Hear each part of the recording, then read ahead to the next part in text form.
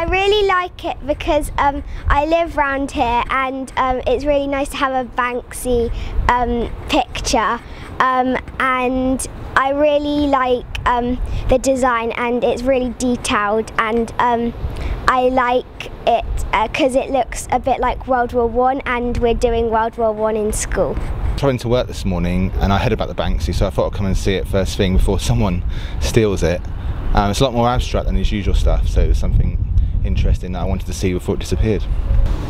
My name's Sarah Graham. I work at a company called See True, which is 20 yards away, and I saw this this morning on my way to work, and I thought, oh, wow, that's amazing. Can't believe Banksy has come to my work, so I just come back now to take a few pictures, and it's really amazing. I love it how the fire alarm is the pearl earring. That's so cool.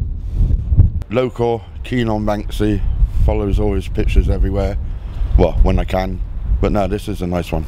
Hello, I'm Michelle Allen. I run the catering unit on Hanover Place. Um, we've just acquired a new Banksy and I'm hoping it's going to drum up a bit of trade. I think it's brilliant.